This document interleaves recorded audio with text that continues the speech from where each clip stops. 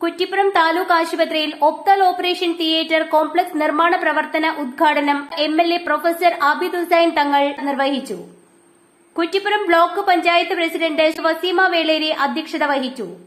താലൂക്ക് ആശുപത്രി medical officer doctor Ali Amu സ്വാഗതം പറഞ്ഞു. Kuttippuram grama panchayat vice president K T Siddique Kuttippuram block panchayat ആരോഗ്യ വിദ്യാഭ്യാസ standing committee chairperson Rimshani Kuttippuram grama panchayat ആരോഗ്യ standing committee chairman Siddique Parappara Kuttippuram block panchayat member Saheer master grama panchayat മെമ്പർമാരായ Sayyid Sakhaf Thangal C K Jayakumar H M C മെമ്പർമാരായ Kaippally Abdullakutty Aravindakshan master N H M engineer Shaheer എന്നിവർ സന്നിഹിതരായിരുന്നു.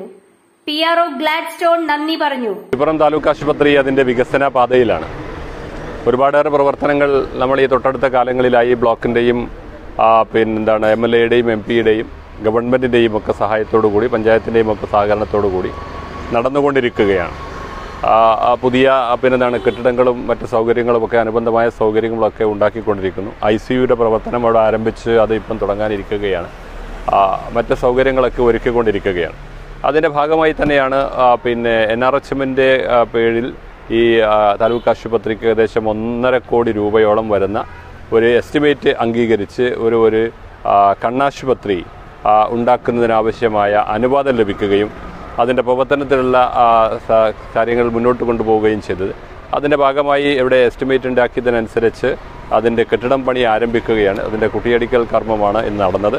ഇതിലെ panchayat block panchayat president panchayat vice പ്രസിഡന്റും panchayat മെമ്പർമാരും block പിന്നെന്താണ് ആരോഗ്യ standing committee ചെയർമാൻമാരും എല്ലാം ഇവിടുത്തെ ജനപ്രതിനിധികളായ എല്ലാവരും എച്ച് എം സിയുടെ നേതാ പിന്നെന്താണ് ആളുകളും എല്ലാവരും പങ്കെടുത്തുകൊണ്ടാണ് സഹകരണത്തോടു കൂടിയാണ് ഇതിന്റെ പ്രവർത്തനങ്ങൾ മുന്നോട്ട് കൊണ്ടുപോകുന്നത്.